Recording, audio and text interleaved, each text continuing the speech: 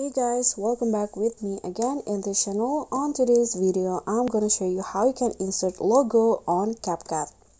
So if you have your own logo and you want to add it to your edited videos you can just add it as overlay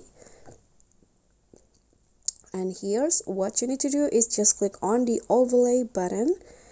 Click on add overlay and then choose your image